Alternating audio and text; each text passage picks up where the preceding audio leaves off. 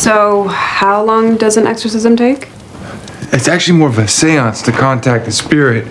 Um, you know, I'm sure if there is a ghost here, it isn't evil. It just needs some help from his friends. I- its friends. Maybe we should wait until my mom gets home. She'd probably want to see you anyways. Wait, why would you want to see me? Because you guys were a couple?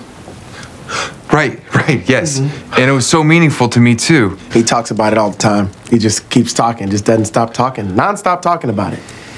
Uh, we should begin. oh, mold.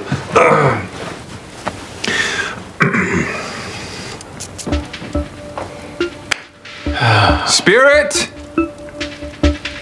Spirit! No spirit.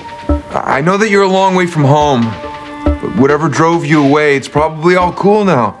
So you can go back to where you belong, where they can help you with your problems or whatever they may be. What? What?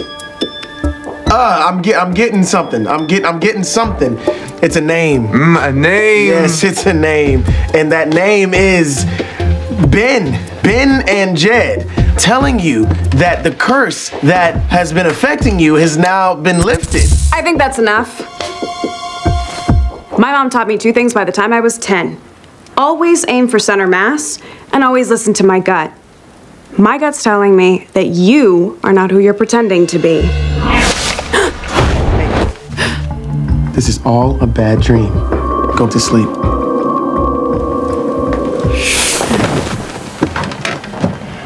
Ethan? You guys shouldn't have come. We want to help you with your powers.